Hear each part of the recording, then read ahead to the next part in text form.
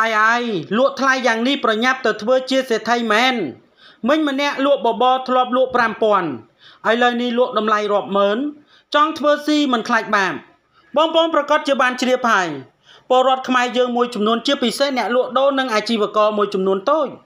តែងតែធ្វើសកម្មភាពបែបនេះជារឿយៗដោយនៅក្នុងនោះផងដែរគឺធ្លាប់លក់តម្លៃធម្មតា ស្រាប់តែសោកសោកនៅពេលដែលចិត្តដល់រដូវកាលបុណ្យទាន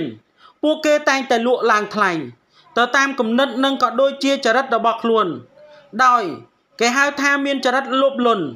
និងមិនខ្លាចបាបសូម្បីតែបបរមួយចានដែលធ្លាប់ហូប3ឬ4000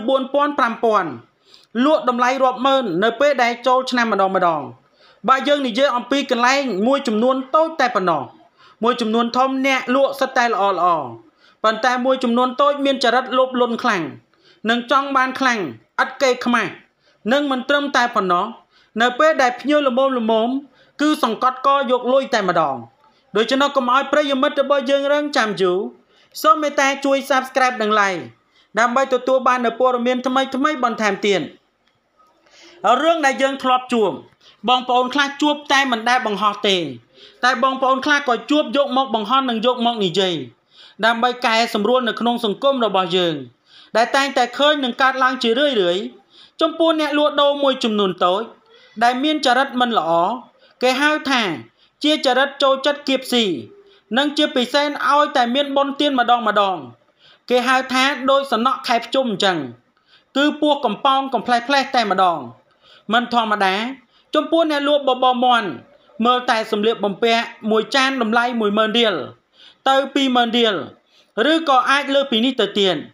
បរមម្នាក់រៀបរាប់ថាហួចចិត្តបងប្អូនអើយមានលុយត្រឹម20000រៀលគិតថាល្មមធ្លាប់ចូលហូបបបរមន់រាល់ដងមួយចានត្រឹមតែ5000រៀលតែផ្ទុយទៅវិញបបរមន់របស់នៅក្បែររបងសាលារៀននៅផ្សារកអណ្ដើកគឺហៅថាបបរមន់ធម្មតា គឺពីរចានទិញទឹកក្រូច2ដបអស់4000រៀលហើយអ្នកលក់គិតលុយ បបរមួយចានថ្លៃប៉ុន្មានមិញមិញគាត់ឆ្លើយថាមួយចានតម្លៃ10000រៀលពីរចានតម្លៃ20000រៀលពុទ្ធោម៉ែអាថ្លែនថ្លៃយ៉ាងនេះគាត់ឆ្លើយថា ពីមុននឹងគាត់នឹងលក់មើលខោអាវមានមួយចាន20000រៀលថែមទៀតផងអោម្ចាស់ថ្លៃអើយឲ្យតែខោអាវស្អាតស្អាត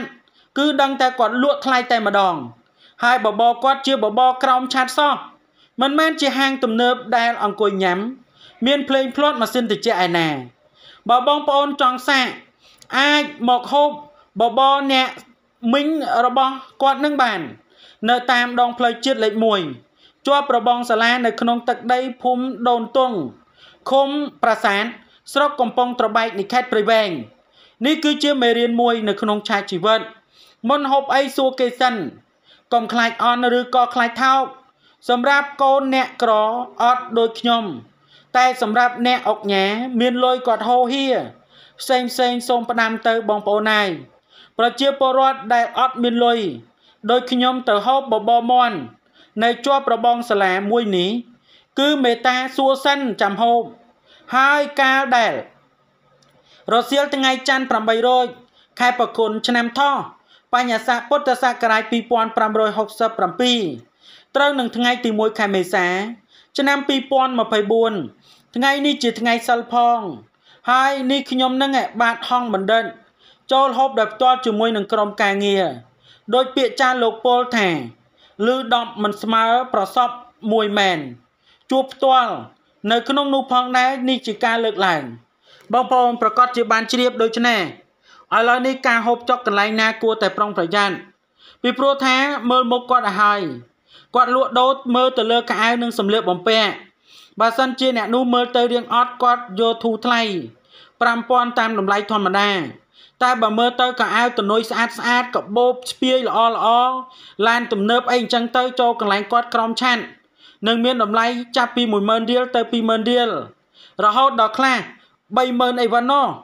នេះជាការលើកឡើងរបស់អ្នកមីងខាងលើនឹងហើយគេហៅថាជាការលោភលន់ការចង់បានឥតគេខ្មាស់ការធ្វើស៊ីនិងមិនលក់តម្លៃទូទៅដោយចំណព័ត៌មាននេះមានប៉ុណ្ណឹងដើម្បីទទួលបាននូវព័ត៌មានថ្មីៗបន្ថែមទៀតសូម Subscribe និង Like